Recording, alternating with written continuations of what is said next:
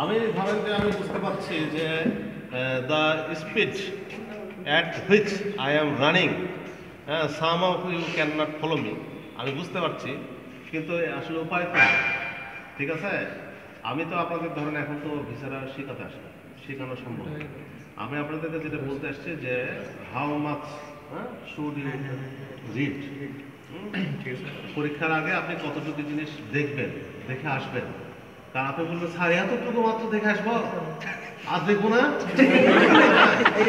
তো দেখেন আপনি আপনি যা ইচ্ছে তাই দেখেন? আপনি গোড়া গ্রে মেরে যা আছে দেখে আসেন।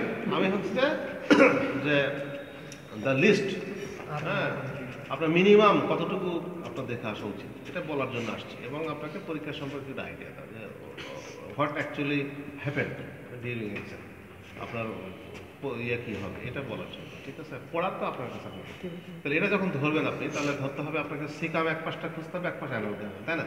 অ্যানোগ্রামটা থেকে অনেক নিচে।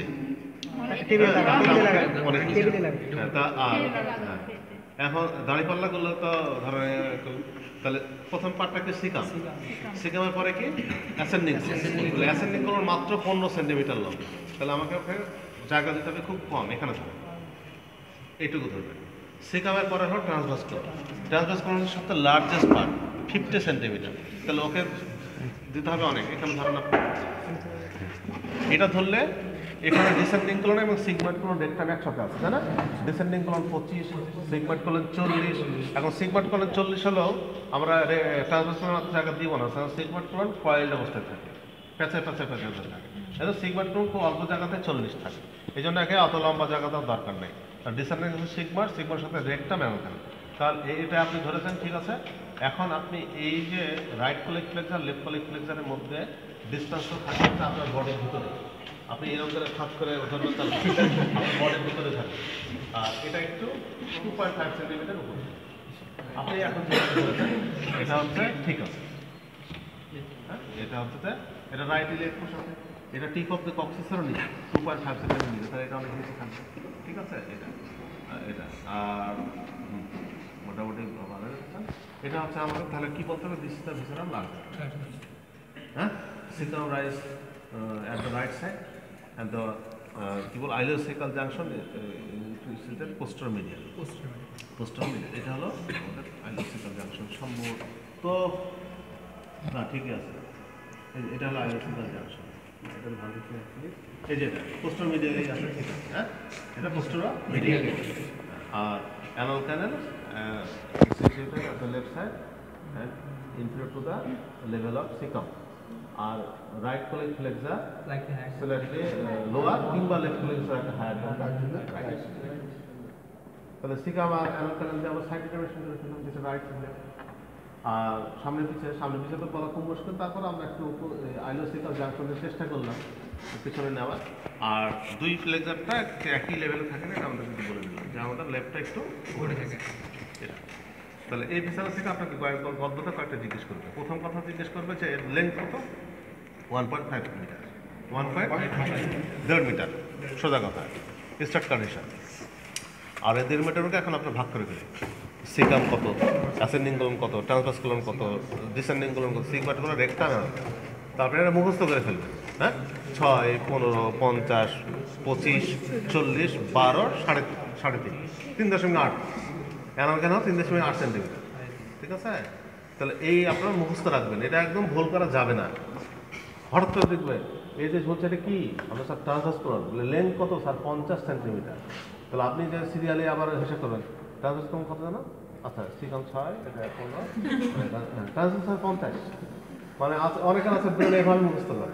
ব্রেনে একটা সিকোয়েন্সিয়ালি কিন্তু আসলে আহ, আপ- আপনার কথা হলো যে আপনি বলতে পারলে হয়। আপনি যেভাবে বলেন না কেন? হ্যাঁ আপনি হাতে হিসাব করেন পায়ে হিসাব করেন। আর বলবেন যে স্যার আলটিমেটলি আপনি মুখ দিয়ে রাইট আনসারটা বেরোতে পারলে তবে you should not take too much longer time আপনি এক জিনিস বলতে যে জিজ্ঞেস করলে আপনি সন্ধ্যার সময় বলবেন স্যার স্যার হ্যাঁ তাহলে আর এটা কেন আসবে তাহলে ধরুন তিনটা ক্যারেক্টারিস্টিক চারটা। আমরা লার্জার ক্যালিবার আমরা অত বলি না। আমরা তিনটা জিনিস বলি। টিনিয়া কোলায় অ্যাপেন্ডিসিস তা তিনটা সম্পর্কে আমাদের খুব ভালো আইডিয়া থাকা লাগবে। টিনিয়া কোলায় হচ্ছে একটা লংজিটিউডাল মাস্কুলার ব্যান্ড তাহলে বোঝা যাচ্ছে যে আমাদের গাটে সার্কুলার ফাইবারও থাকে লংজিটিউডাল ফাইবারও থাকে। Outer longitudinal inner circular outer longitudinal inner হলো সার্কুলার তা আউটার লংজিটিউডাল ফাইবার চারপাশেই আছে। গোটা গাঠকে তো লংজিটিউডাল ফাইবারগুলি এরকম করে চারপাশ থাকতে থাকতে মাঝখানে মাঝখানে ওরা একটু ঘন ঘন আছে লংজি ফাইবারগুলি একটু থিকেনিং অ্যান্ড কনসেন্ট্রেশন হয়ে যাচ্ছে। এই তিনটা জায়গায় এই তিনটা জায়গায় হচ্ছে আমাদের টিনিয়া কোলাই টিনিয়া কোলাই তিনটার নাম কি কি? Taenia mesocolica. Taenia libera taenia omentalis তিনটা টিনিয়া। তিনটা টিনিয়া আমরা কোথায় খুঁজি? ওয়াল থ্রোদি গার্ড এখন তখন জিজ্ঞেস করবে যে টিনিয়া কলার কোথায় থেকে কোথায়? তাহলে আমাদের বেজ অফ দ্য অ্যাপেন্ডিক্স থেকে কোথায়? রেক্টো সিগমেন্ট জাংশনে ফাইভ সেন্টিমিটার প্রক্সিমাল তাহলে এটা যদি সিগমেন্ট কলন হয় এটা রেক্টাম হয় তাহলে রেক্টো সিগমেন্ট জাংশনে ফাইভ সেন্টিমিটার উপরে শেষ হয়ে যায়। এই যে পরীক্ষা সব আপনাকে জিজ্ঞেস করবে টিনিয়া কলায় কতদূর পর্যন্ত থাকে? তার বেজ অফ দ্য অ্যাপেন্ডিক্স থেকে রেক্টো সিগমার জাংশনে ফাইভ সেন্টিমিটার ডিস্টেন্স উপরে।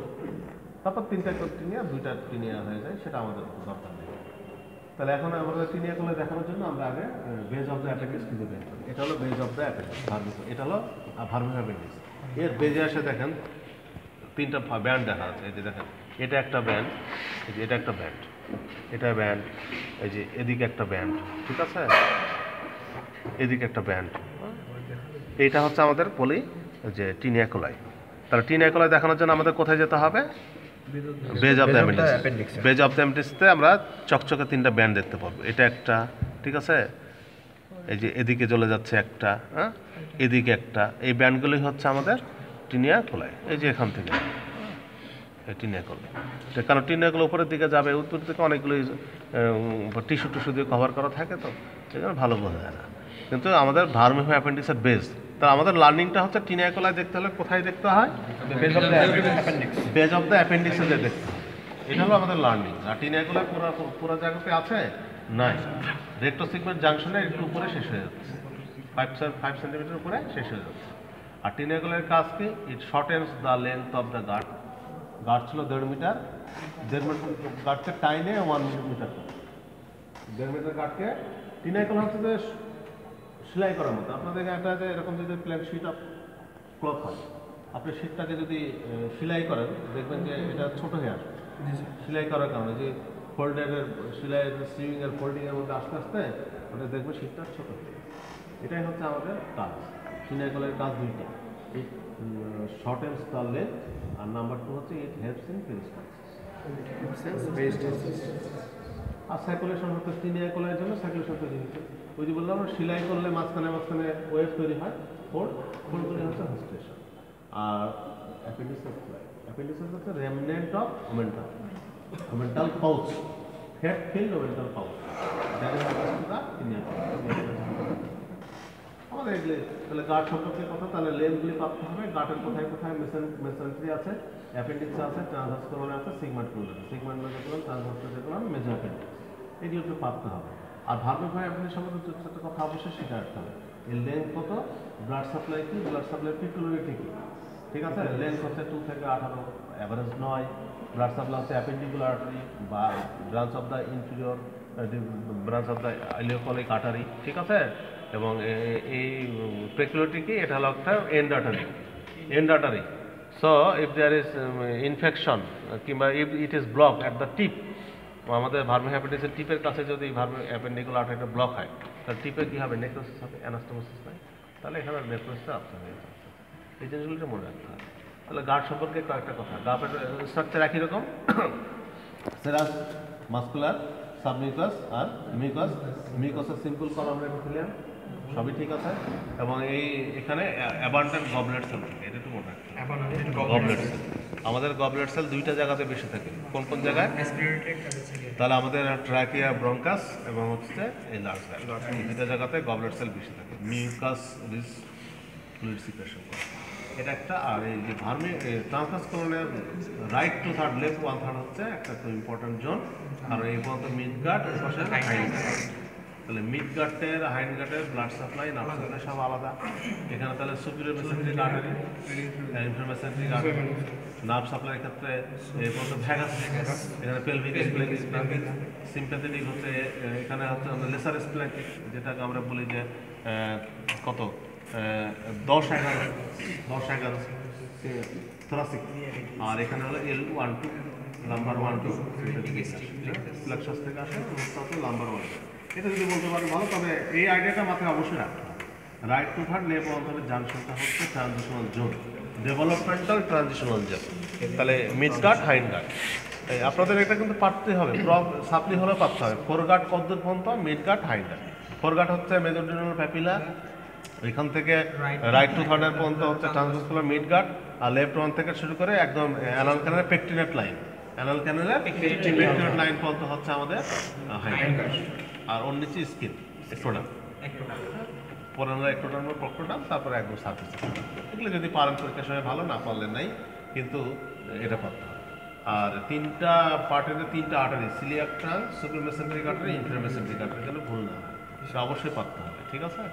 এ কয়েকটা কথা আর এই ব্রাঞ্চের মাধ্যমে jejunal ileal branch middle colic artery right colic left colic এগুলি অত পারার দরকার নেই আপনাদের। পারলে তো খুবই ভালো না পারলে অত পরীক্ষার সমস্যা হবে না। কিন্তু এই গার্ডটা ধরতে পারা এবং গার্ডের ক্যারেক্টারিস্টিকগুলি বলতে পারা এবং এর কয়টা পার্ট পার্টগুলি লেন্থ মেজরিটি কার কার আছে ট্রানজিশনের জন্য এইটুকু এইটুকু দু চারটা কথা যদি বলতে পারেন গার্ড সম্পর্কে পাঠ হয়ে যাবে ঠিক আছে? গভর্নর সেলের কথা যদি বলতে পারেন আরও গার্ড হলো রাখবে কি?